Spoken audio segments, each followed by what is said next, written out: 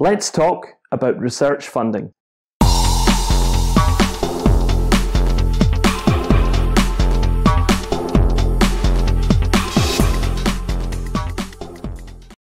Welcome to That's Academic. My name is Stephen Thomson. I'm delighted to be joined in this episode by Professor James Chalmers. He is the Regius Professor of Law at the University of Glasgow. Now, he and I are going to be discussing research grants and research funding, some of the ins and outs of how the grant system works, but also the pressures and the considerations that it generates both for academics and for institutions. James, it's so good to see you. Thanks a lot for speaking to me today. Oh, thanks for having me. James, we're talking today about research grants and research funding. Now, just for beginners, let's start with a nice kind of easy uh, lead into this. Just for the beginners out there, obviously this will vary from discipline to discipline, but could you run us through perhaps some of the more common budgeting items when you're applying for a research grant? In other words, what are some of the things that you're asking for money for in order to conduct your research? Okay. Well, as you say, it's, it's, going to vary from discipline to discipline, and, and you and I are coming at this from, a legal background. The, the key point um, in any application is, is going to be time and, and, what time is going to be paid for. But there, what matters is looking at what the, the funder that you're going to apply for is willing to fund. So, for, for some people, what matters most in any research funding application is getting time to do research personally. And some funding schemes don't fund that. They fund things that are additional to the, the work that you're doing for your own employer. So they might fund research assistance, they might fund, fund travel and, and, and accommodation, and so on. So it, it, it all depends on the scheme. But you're, you're looking largely for the kind of research that you and I would do about things like your own time and therefore effectively buyout from uh, other things that, that you might be doing uh, if you have a permanent job.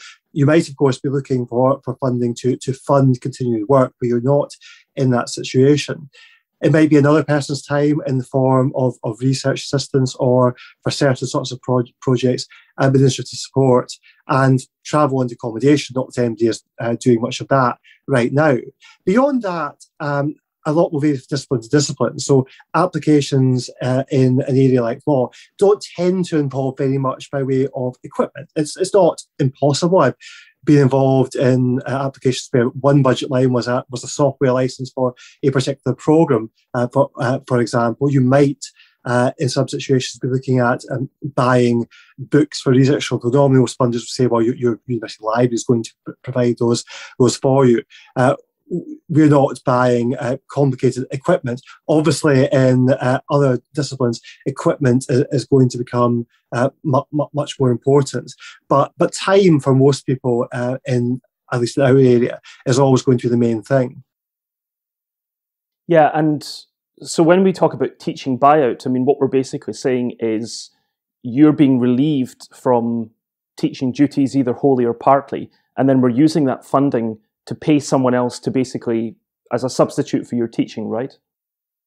Essentially, yes. And this, this could operate in different ways. There are some funders where what is being offered, what is available to apply for, is replacement teaching.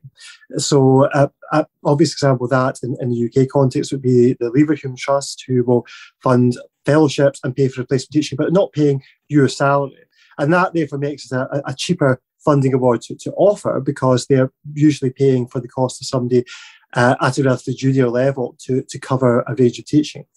Other funding bodies, such as the, the research councils in, in the UK, would be paying for the cost of, of your time. And therefore, the more senior you are, the, the more expensive uh, that, that becomes. How that then gets managed is then up to an individual university and, and department. But obviously, in principle, if your time is being paid for by an external body, uh, whether that be a, a research project or indeed anything else, that should reduce the amount of time that you have to do what would be your, your normal job, and with it, uh, reducing the amount of, of teaching or administration work that, you, that you're being asked to do. But that sort of funding is not a direct research uh, bias in that way, but it should have that, that effect. Again, an awful lot of, of the implementation here can, can be tricky and come down to individual university policies and practices. Yes. So, I mean, really, we're looking at sort of teaching buyout, you know, paying for the time, paying for someone else's time in terms of research assistance, um, equipment of some form or another, software licenses, perhaps, maybe database access, um, open access fees. I mean, maybe in our field that's not so common, but still, actually, even some of the journals which are owned by large publishers, of course, those journals are not necessarily open access, but you can pay a few thousand pounds to make it open access. Yeah. So I guess that can be a budget. Yes, yeah, so that, that, that, that's something uh, that, that, I didn't mention. That will be something that's increasingly with, with some funding bodies is a condition uh, actually as, as part of the funding scheme that if you are carrying out publicly funded research, and there's an increasing move towards this, the fruits of your research ought to be available to people for free and not hidden in a walled garden somewhere. Now, um, UK research councils have been over uh, some years now moving increasingly towards that position, but also making funding uh, available for it. With other funding schemes, it will be a question of what the funder is, is willing to pay for. So some may make that a condition and, and say, be just has to open access and, and we will provide funding funding for that. Other funders uh, may not be willing to pay publication fees and, and, and simply it's then a question of you make your research available as best you can. In the UK, we, we have reached a, a reasonably good position in, in terms of open access where because of the REF and because publishers cannot get people to largely publish with them unless their outputs could be eligible in, in the REF. The REF requires that material that you're pub- publishing um, is going to be available uh, in, in, an open access format. So not what might be called gold open access, where the, the journal article is just available in its final form for free, but at least the accepted version after a window period should be available freely to down, download from, from an institutional repository. So that, that as well can, can be a, an element. Uh, and it's going to become an increasing uh, element because of, of, of, current Research Council policy, potentially for, for monographs uh, uh as well. So in the past, we've thought of open access as largely something that is an issue for um, research articles. But the Research Council to say, well, if, if again you're getting public money to write a book, that book ought to be something anyone can read without paying what are often very high prices uh, for, for an academic monograph. So there is this, this push towards making research as freely available as possible, but publishing remains an, an extremely profitable industry. And the current solution of paying the publishers more money to make the things freely available is, is, is not perhaps going to change that anytime soon. You, you've, I think, hit on a really interesting paradox or tension there because open access is a good thing. I mean, I'm sure we both agree on that, and, and many scholars do, most, I, I suppose. Um, so, on the one hand, it's obviously good if there is a push towards more open access, and you know, I think in principle it's a good thing that you, that the funder says, well, we're only going to fund you if you make this open access. But then, of course, as you say, in order to make it open access, often I know you, you've got SSRN and other Oh, you know repositories like that. But in terms of the final published version, in order to make it open access, you then have to use that money, which could be public money, to pay for the open access. There's, there's a tension there, right? Because we, we, it's then costing more money in order to make it open access. So that, I'm not for a second disputing the advantages of things being open access. I'm a, I'm a massive supporter of that. But is that actually becoming more expensive? Is it making research funding more expensive because you're then having to pay for these open access fees as a budgeting item? It, it, it is making some funding more expensive, although I think the reality still is that with, with most funders, this is not something um, in the arts and humanities type subjects you're going to get covered anyway outside the Research Council environment. So from that point of view, it's it's not making much difference in most cases to what people are uh, applying for what we are going to have to see over the, the next uh, years or, or, or, decades in academic publishing is possibly universities taking a, a, bit more responsibility for the publishing side to try and, and break down the very high cost uh, ecosystem that, that has developed with academic publishing. And, and you, you do see some universities moving towards setting up things like their, their own open access presses. And so much, of course, what pushes people towards very costly options in publishing for understandable reasons is the prestige of who you're publishing with. And, and the fact that your re- research is likely to get more attention if you're publishing with an, an imprint or with, with, with a journal, uh, which is recognized as, as being uh, a leading one in that field. So on one level, if you were being very uh, blasé about it, open access is, is, is easy. You just stick something up uh, on your own institutional repository or, or, or a subject repository. Um, but there's a number of problems with that, of course. It doesn't help uh, it, it get attention. And you publishing um, isn't, although we, we do talk about what academics are doing, all, all, all the copy editing uh, and, and, and so on, uh, publishing is still a, a, professional business where it can be done well or it can be done badly.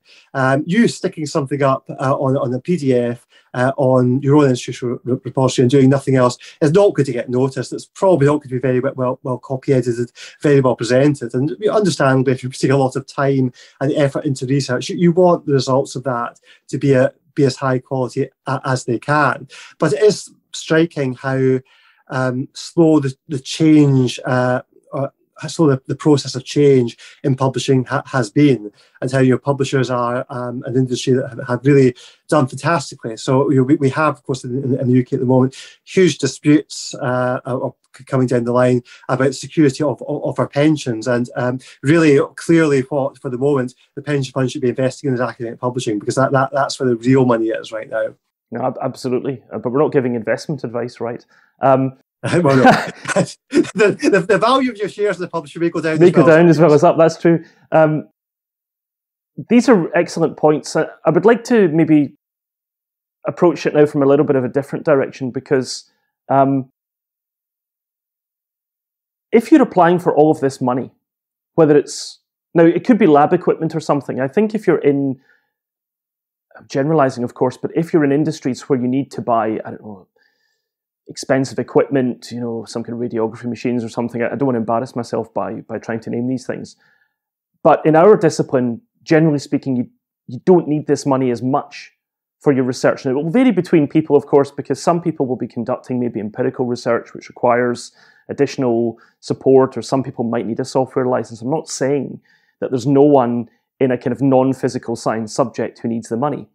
But if you don't need the money, um, isn't it a good thing that you're not applying for grants? Because especially if the money's coming from public funds. So if I can do my research without costing tens of thousands of pounds or even more, isn't that a feather in my cap rather than saying, oh, look, I secured a grant for a million pounds? Because what that really says is, you know, this guy's awfully expensive.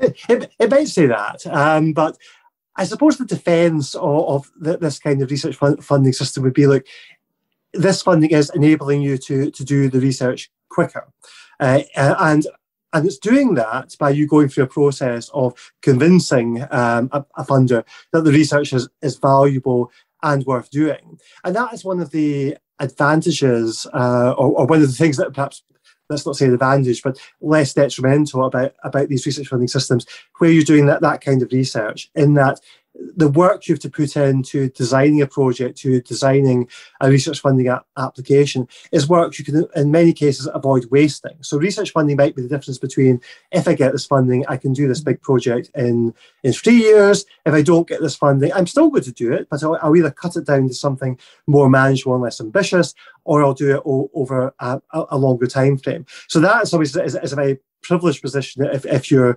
doing that kind of research, which, which is most of what, what you and I do. If you are um, involved in a field where the research funding determines whether you could do the research or not, because you're not going to be able to hire the research assistants, you're not going to be able, able to, to buy the uh, scientific equipment to, to, to, do it or pay, or pay for the lab time, then, then that is obviously um, a rather different matter. The the reality of, of the situation we, we work with, of course, is that, it, that there are lots of people who would like, like to say, well, I, I just like to be allowed to get on with my, with my research and, and not have to worry about all these funding applications. But of course, employers are very keen, and uh, institutions are, are, very keen on, on people getting funding for, for reasons of prestige, but it's not merely a, a, a, branding exercise. Getting funding to pay for your time to do research should, uh, unless um, you're, you're somebody who has infinite time to stretch into. It should result in that, that research being done sooner. It should result in that research being done to, to a high quality. If it's research that is really valuable research, that, that should be a, a good thing. Uh, but nevertheless, uh, I, I, know that can be frustrating for, for a lot of people who think, well, I've now got a, a, permanent job. I, I got some time to do research, maybe not always as much, as, much as I'd like, but I just like to, to get on with it without uh, without worrying about it. But there are always going to be incentives, um, either at a personal level or institutional level, to, to apply for that funding. I'm so glad you raised this point about the the what's in it for the institution or why does the institution want want us to do this again we're not talking so much here about research which which requires the funding, you know, in order to be conducted, because that's that's kind of obvious, that's yeah. self-explanatory. But for research that doesn't necessarily require it, I mean, you've put forward the, the, the proposition that it kind of speeds up the research or or um, maybe enables it to happen more quickly.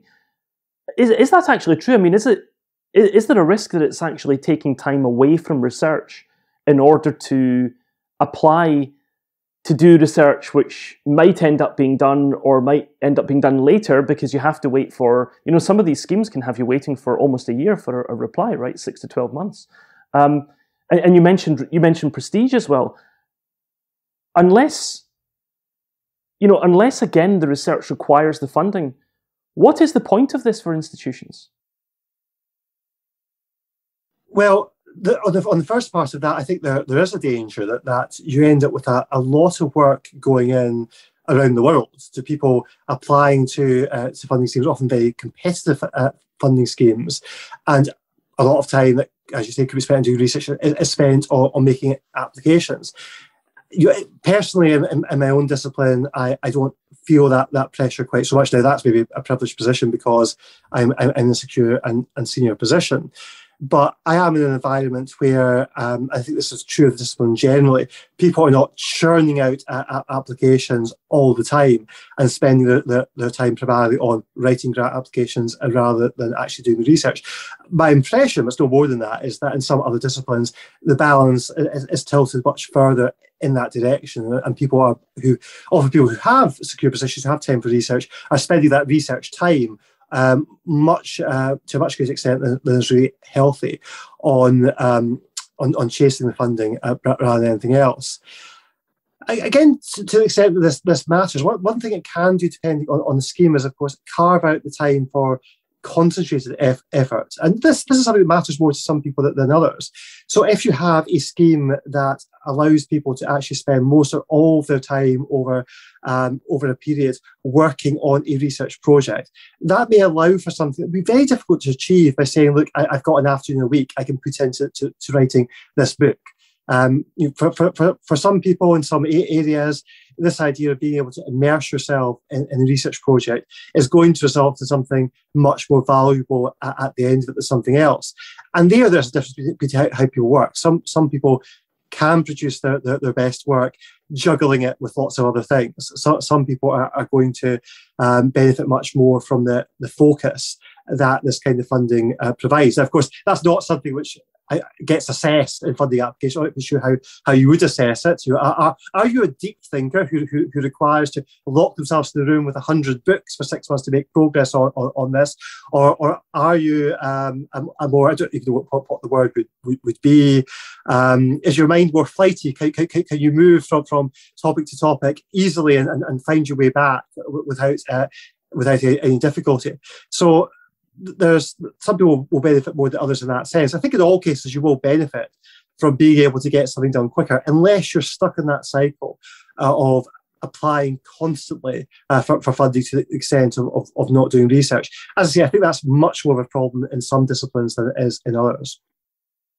Very interesting points, James. Um, one of the phenomena that we're seeing, of course, in academia is we're seeing more kind of fixed term positions coming through. Now, obviously, um, in in systems with tenure, people always almost always start in fixed term contracts anyway. But in non-tenure systems, like in the UK, for example, um, certainly I've seen in our discipline a lot more kind of fixed term contract positions coming through. Now, for those people, are they not placed at a real disadvantage here? And, and, and aren't the institutions trying to kind of have their cake and eat it because on the one hand they're saying well you need to have this research funding you know it's it's necessary to be hired for some other position or some promoted post but on the other hand we're hiring uh, you know increasing numbers of people it's still the minority but increasing numbers of people on fixed term contracts who are perhaps disadvantaged because they're not necessarily able to build in the time that's necessary to make the application, which could take six to 12 months. And then what if they want to run, let's say, a two to three year uh, project after that? So are, are institutions trying to, are they expecting too much of people in that kind of situation? There's a, there's a huge difficulty in varying between disciplines. It's just the, the, extent to which people are expected to try and, and build careers. Often as a you know, I would say fairly, fairly advanced stage. I'm not, I'm not sure somebody in the late twenties would, would uh, take kind of being told they're of advanced age, but at the time when people are, are usually setting, uh, settling down and making roots in a particular location and being told, right, actually, you're you're still um, in a situation where fixed term contracts are, are, are, what you can get. And by the way, this may involve moving around the country or um, or across countries in, in order to, to secure work there's a place for, for fixed term contracts. And, and, and, again, here I think you have disciplinary differences. It's, the situation, I think, again, in our own discipline of law, has not typically been terrible in that most people working teaching in, in, in law schools are on permanent contracts. And often fixed term co- contracts work very effectively as a, a bridge to a, a, first permanent contract. And I, have seen that situation people that have, have, benefited from research funding because somebody has got a, a grant, has created uh, a fixed term, term, post that they've got, and that fixed term post has become permanent or has, has been a basis for them to secure a permanent position elsewhere. But that's perhaps a, slightly complacent answer and one that works in a discipline where there is still a good supply overall of, of permanent, at least entry level level posts, because of the, the volume of, of students and also a relatively low supply of, of PhD graduates across the board because uh, still of, of, the push um, that people who do law degrees generally want to go into practice. They don't want to uh, to go on and, and do research qualifications. But the situation looks much worse in disciplines where you have a much uh, greater supply uh, of PhD graduates, a smaller supply of permanent positions, and, and people therefore do get stuck. Um, often on fixed term contracts for a very long period of time, or being unable to find even you know a, a full term fixed a fixed term contract might be very attractive, but instead scrabbling together different bits of, of work often at, at, at, different institutions, and that is that's a problem that, that's difficult to solve because the, the, the problem fundamentally com- comes down to there are not enough academic posts for the people who are qualified uh, for these academic posts. So it, it remains an, an, attractive career until, excuse me, until you hit the reality of, of trying to, to get that level of security, which is what most people want from an employer. Absolutely.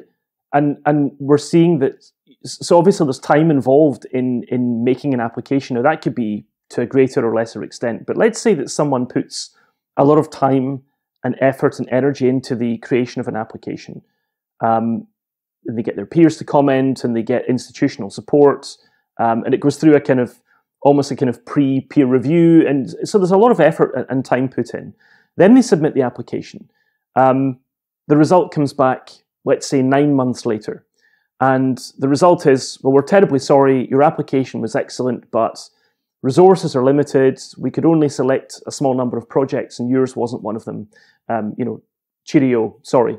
Um, what do we do about that? I mean, how do we how do we compensate academics for time lost? Some would say wasted on applications which were not successful, not because not enough work went into them or or they weren't good enough somehow, but you know, just there was a limited number of slices that could be cut from the pie, and there wasn't enough to give them, you know, uh, part of that allocation, uh, the resource allocation. What can we do about that? I mean, in terms of maybe performance appraisals, but also in terms of if a person's then trying to get a job somewhere else, maybe move somewhere else, you know, they can hardly put on their CV, well, I applied for a grant and, and I was rejected, but but please take into account the fact that I applied for one. What can we do about that, and what can institutions do about that? Well, a number of different things. To take the last point point first. Um, it's not necessarily a terrible thing to say that you've applied for a grant that you were rejected for if what you've got is a, a very high rating or, or rating on that grant.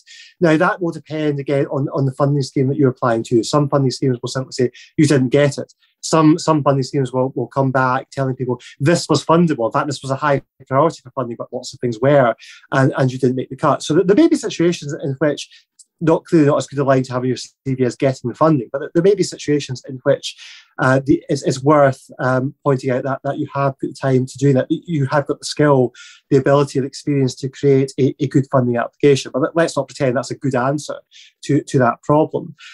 What institutions I, I think have to do primarily here is, first of all, avoid putting pressure on people to, to repeatedly apply over and, and, over again to schemes with a very low chance of success. So it's one thing to say, look, we expect you to make a big fund, funding application or a funding application um, every so often, um, but actually your primary, primary job here is to produce research alongside your teaching and, administration.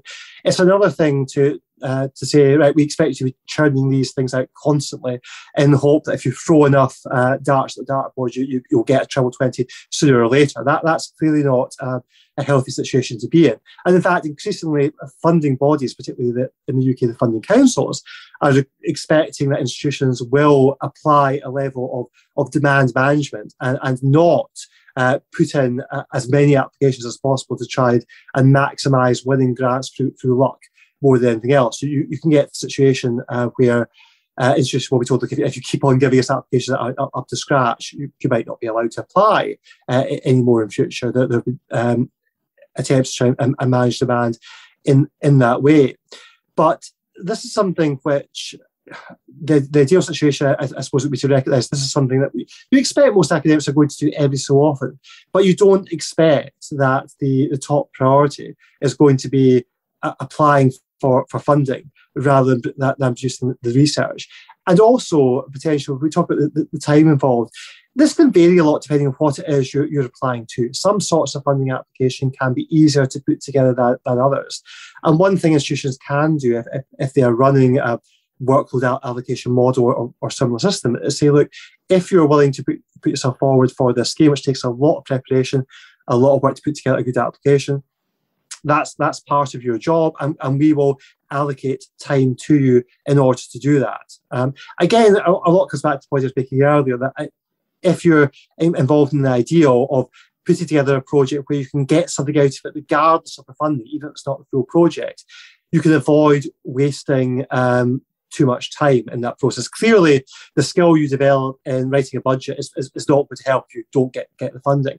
But the intellectual um, element of putting the academic proposal together can be something that, that, that will pay off down the line. But that is obviously very different, where it's a project where you have to say, I cannot do this unless they get the funding. And, and there, that can be very demoralizing because the, the work can just be wasted um, further down the line. Yeah. Well, I wonder if I can just ask a final question on this before we come to the, the stock question that I always finish with. Um, and it's just to return to this idea of why. Why are institutions expecting this? Again, I'm not speaking here about areas of research which require the funding in order for the research to be conducted. Um, are faculties and departments which are expecting their staff to apply for these research funds doing it simply because senior management and institutions are forcing them to do it? Or is it a case of the prestige factor, as you say, it's well, we can you know put in our news page, um, here are three members of staff who secured you know, enormous grants. Um, I'm, I'm just still not clear about what's what what is the purpose of this. I mean, and that's not that's not through not understanding how it works or not having thought about it. I just I'm always left with this sense that the cart seems to be before the horse. I just don't. There's something about it I don't get.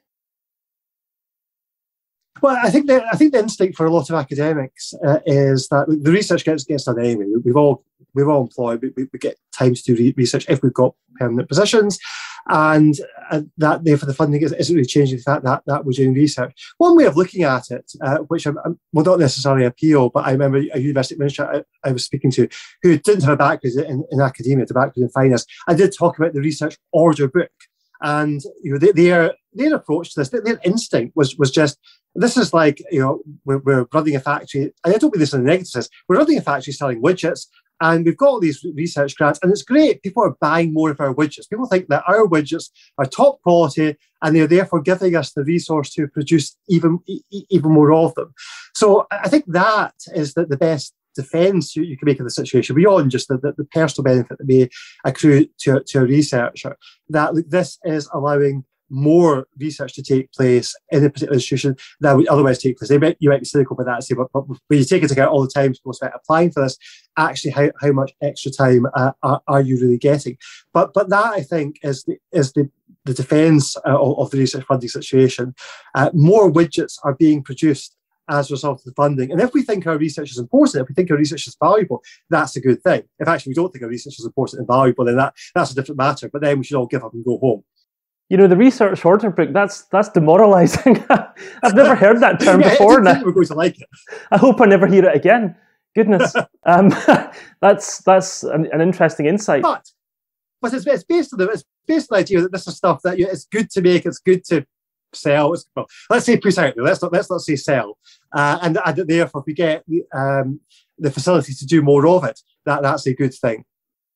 It's interesting, though, that you say, you know, assuming we find our research valuable or meaningful. And I know you do and I do too, but I mean, I personally know people who have been under enormous institutional pressure to secure research funding. You know, put together projects that they otherwise wouldn't have done and which they regard as less valuable and meaningful than the research they would otherwise have done, which would not have required grant applications. Then they go into the research projects, they, they get the funding, they're fortunate to get the funding, they go into the research project and then you know time's running out at the end there's a deadline by which they have to submit a report. And now they're just looking to publish it anywhere. And they end up publishing it in some you know fairly mediocre journal simply because that journal's desperate to get any you know to publish anything and to push anything out as quickly as possible um, and then they can say well box ticked now you've got your your research grant and you've successfully completed you know that that's that's not healthy right is it? It's not. And one thing that that again, you and I are in a relatively privileged position here is that most research um, in our area can be described perhaps as, as, as curiosity driven uh, in, in the sense that you are given the opportunity to decide what you think is, is, is worth researching. That's not being directed. Uh, most people in, in law are independent researchers from a very early stage in, in, their career, as opposed to being researchers at other, other people's projects. Most funding schemes are, are curiosity driven. Um, I, there's a there's a technical term for this, which is not that. I forget what the technical term is. But you decide what what uh, project is is worth funding. You make the case, uh, and um, a decision is, is, made accordingly. But as funding schemes uh, move more towards we want to fund particular bits of research, we want to fund particular types of research. There's always the, the possibility that, that, there, that people to secure funding find themselves, themselves doing projects that actually they, they don't particularly want, want to do. And that, I suspect, is a, is a much greater issue in some disciplines uh, than, than others. Um, it can, of course, be, be an issue in any discipline if people feel the need to tailor what it is that, that they want to do to what they, they believe a funder's uh, agenda is. That again, in, in UK with the major funders for kind of stuff that you, you and I do, that I think is not an enormous issue. Uh, people may perceive it as an, an, enormous issue. People, of course, may make reasonable judgments about, well, what I'd really like to do is, is X, but I don't think I can actually convince somebody that X is a really valuable thing to do. So I want funding. The, the project should, should actually look, look like Y. Um, but, but that's not a major factor of uh, a, ma- a, major element of our, our funding landscape, but certainly not um, desirable if people are, especially developing projects, not because they think they're valuable, because they think somebody else think, thinks they're valuable, and they're being funded because a funder thinks, well, this person thinks this is valuable, and, and I agree with it. At that stage, the, the ecosystem has has broken down completely, and that, that's not a good, a good position to be in. My own experience, uh, an experience I think of, of people I, I work with directly, is is an environment where that really isn't happening to any great extent. But I, I, hear what you're saying that, that that may not be true elsewhere. Fascinating insights. Probably my own insights are also, uh, what should I say, tainted by the fact I was in a jurisdiction which had a lot more, um, how should I say, political um, political pressure or, or maybe expectations which which could impinge upon the kinds of research expectations that they were. But so these things can vary from from country to country and system to system, right? Um, James, the, the, UK for, for all the academics would be very very critical of, of the UK government in, in, in, lots of ways. The research fund, funding system uh, is set in ways that I think we, we don't sometimes appreciate that really do um, keep political pressures by and large out of that. So the, the, there have been other jurisdictions. I think Australia has seen that in, in, recent years where politicians have, have chosen to take a much greater interest in what can, should be, and, and is funded. And actually, if you're applying to the major government funding bodies here, like the Arts and Humanities Research Council, the government is pretty hands off with that. Mm. And I, don't think we'll appreciate that until we lose it. And we, we could lose it at some point. I don't, I don't think it's under threat, but I, I think we, we, we, won't notice the benefit of what we've got uh, until a time comes, if it does, when we no longer have that. That's a really fair point. Really fair point. Uh, James, that's fascinating. I would like to conclude with just the standard question which I'm putting to all guests um, on this channel, and that is if you could change one thing about academia, what would it be? And I hope you've had a chance to think about this. Uh, I have to, I have the chance to think about it. It doesn't mean it's a good answer. I'm going to go back to the, point I was making earlier, perhaps about, about fixed term contracts and, and, and security. One thing I, I, would like to see is in um, PhD funding and recruitment of PhD students, more emphasis placed on is this uh, a field where there's like to be a job at, at, the end of it? So at the moment, if we, we have a situation where I think from the perspective of people coming into law, for for example, as PhD students, the the job market can, can look terrible in, many respects. It, it is from the perspective of law, departments, hiring people can look the opposite because actually you're quite often trying to recruit people to cover uh, lots of subjects where there aren't many PhD graduates and not very many applicants for jobs, but there are some fields where, where there are, are far more. And this is the kind of issue you, you see um, across the board in, play it in different ways in, in, lots of different subjects. And one thing that's always struck me as, as, as very odd is if I'm making an application for um, funding in the PhD scheme, there's lots of points in that for, for saying, look, this person will join a thriving community of lots of other PhD students. Whereas actually the point should really be there for saying, there are no other PhD students working in, in this area, but you know what, that's great because this person will be, be in a much better position to, to get a job at, at the end of this. Now, that's a, fundamentally larger problem, which is it would be better to have a situation where there was better alignment uh, without turning this into a, planned economy of some sort between people coming into to PhD programs and employment opportunities at the end of that. And some, some of that could just be more employment opportunities. Some of that could be trying to direct um, PhD, PhD study in a more effective way. But of course, that comes down to the fact that uh, fundamentally when it comes to studying for a PhD, people do have their own choices and their own interests as, as, as to what they want to do. And it's all very well if, if I say, but nobody ever if, ever does subject X, you'll be really well placed to get, get a job after that. But somebody say, yes, but the reason nobody does subject X, or at least my for not doing subject X is I don't like it. I, I, I don't find it interesting. But something that that avoids the, the, the situation we have created or tries to minimize it, where there is just this, this mismatch uh, in the supply of, of, of graduates and in, in, law in both directions and, and the job market would, would I think make life less painful for a lot of people. You've got me thinking. So there, there are actually, if someone is choosing their, their research topic for their PhD, obviously they shouldn't base this on just strategy or tactics. They have to be interested in it, otherwise morale is going to be a problem and, and all the rest of it. But the advantages if there are a number of people already working in an area, there, there's probably a reason for that. It can be an area which is maybe cutting edge, maybe an area that's just fashionable. I mean, I think of something like fintech or something. Everyone now wants a fintech person. Um, but on the other hand, so, so, so people who then go into those fields, if there are, you know, if the supply becomes too large in terms of PhD graduates in those fields, it can, you know, people can have a harder time securing um, a suitable job in that area. But on the other hand, if someone chooses a much more kind of niche or unusual topic, they don't necessarily face so much competition, but then is a job going to come up which allows them to continue in that niche? There are almost kind of competing factors and considerations there, right? Yeah, I, I certainly I don't think the finding a narrow niche uh, is necessarily a, a, good strategy. But what law schools tend to find is, that people working in often the core private law subjects, for, for, for example, there are fewer people doing uh, doctoral work in, in these areas. There are fewer people applying for jobs when they come up. By contrast, uh, if you are working in areas like international law or legal theory, uh, there is a much greater supply of PhD graduates and a much greater number of applications for any given job. You, you have the advantage there, of course, that, that um, if you are personally mobile, that some areas are more, are more mobile than, than others and lend themselves more to, to applying to a, a, broader range of jurisdictions for work. I mean, fundamentally, people have to make their own choices uh, as to what they want to do. Uh, but we could, I suspect, always do a better, a better job of making it clear what the employment market is like and what the consequences are down the line. And somebody may say, look, I realise that this is going to be a, a, difficult area to break into, but this is what I want to do. This is what, what I want to, to have, have a shot at. And that's fine as, a choice for some, somebody to make. What you want to avoid is a situation where somebody um, goes into the, the, the, process, and the PhD is a big commitment, thinking uh, that the, the job market down the line is going to be a, a lot stronger uh, from their point of view than, than is actually the case. I think we, we could do a better job. I, I think people are generally quite good already at, at, at, trying trying to make that clear.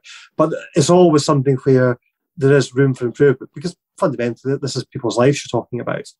Absolutely. One of my previous guests, um, Stuart Hargreaves, had said he would like to see uh, statistics on, you know, for all of our PhD graduates, where are they now? So almost kind of employ employment statistics for PhD graduates. But I can't imagine institutions being um, terribly happy to release those for some reason. Um, but James, it's yeah. been wonderful speaking to you, and you know your insights as a, as a very senior academic are really valuable and really uh, valued. So thanks so much for your time, and it's been great to speak to you today. Good to speak as well. Thanks so much, James. Yeah, thank you. That was Professor James Chalmers, Regius Professor of Law at the University of Glasgow. I hope you found our discussion interesting and insightful. If you did, please consider subscribing or letting someone else who might benefit from these discussions know about the channel. Also consider liking the video and please do engage by leaving your comments. Thank you for listening to this episode and I'm looking forward to interviewing my next guest on That's Academic.